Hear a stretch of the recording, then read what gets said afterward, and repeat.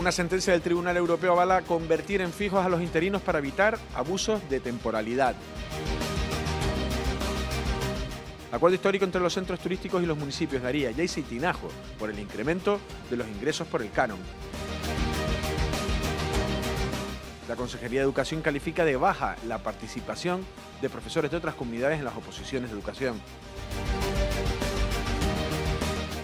Las obras de ampliación del Instituto de Altavista incluirán la construcción de un pabellón deportivo que tendrá uso general para los vecinos de la capital.